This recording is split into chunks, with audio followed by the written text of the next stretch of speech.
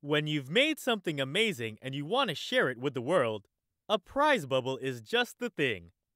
Find one on the gameplay page of your tools bag and place it in the world with the action button. Before it's filled, a prize bubble is basically just a big score bubble. It's even worth 50 points. To give it a prize, enter its tweak menu using the pop-it cursor and the menu button.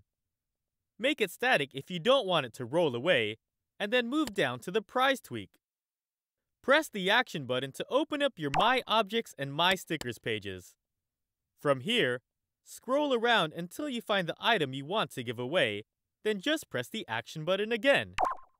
Your prize bubble is now filled. You can even see it floating inside, waiting to be collected. Activate the shareable tweak if you want other players to be able to spread your prize around to their friends.